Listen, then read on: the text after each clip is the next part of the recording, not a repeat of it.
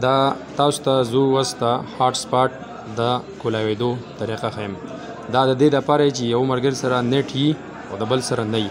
د یو مرګره د بل مرګری سره یو قسم دا وای فای چې کوم دا هاټ سپاټ والا دا ان کولای شي دا غي طریقه دا تاسو بلاور راشي سیټینګ ته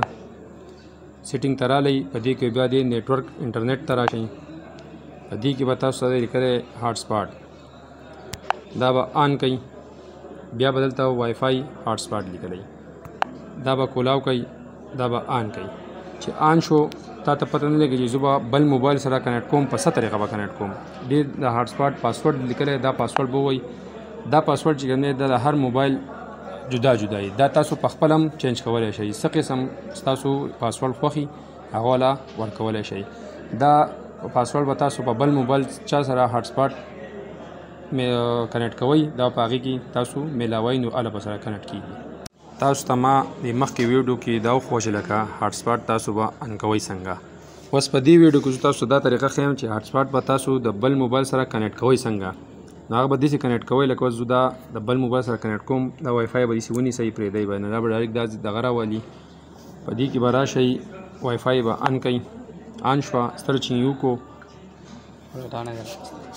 تاسو به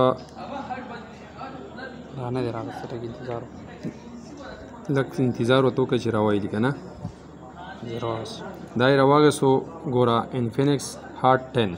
د دې موبایل سره زه اوس دا خپل موبایل کنیکټ کوم په هاټسپاټ وای فای باندې دا ما ټچ کوم ماته اوس د دې بل موبایل پاسورډ نه دی یاد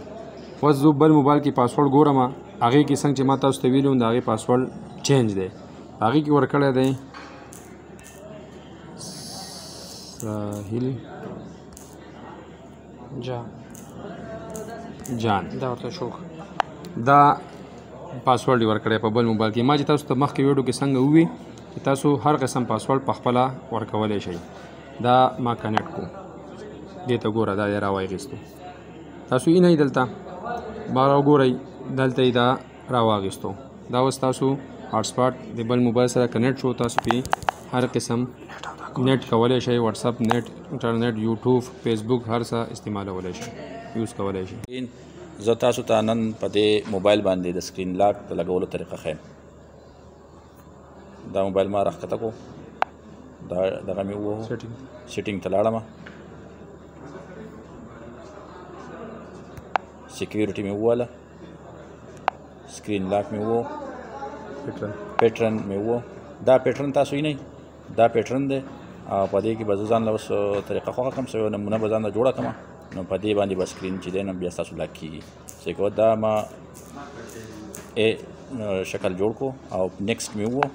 نو په دې باندې دوباره دوباره یو وار دوه وار به دا وال غواړي نو په دې باندې دغه د کنفرم نشان راغی دا کنفرم نشان ما وو او بیا ما ډن وو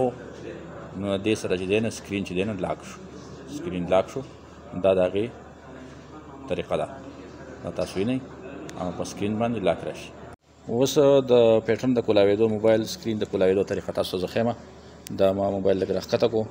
دا نشان می وو سیټینګ د لاړه ما او په سیټینګ کې ما سکیورټي والا سکیورټي سره ما سکرین لاک وو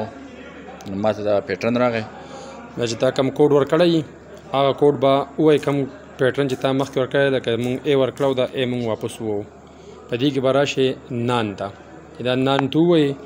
بیا یې سری مو وې بس تا پیټرن ستا چې کم لاک ته د سکرین لاک هغه ستا د موبایل نه ختم شو دلته سکرین سره خوا ته وګورئ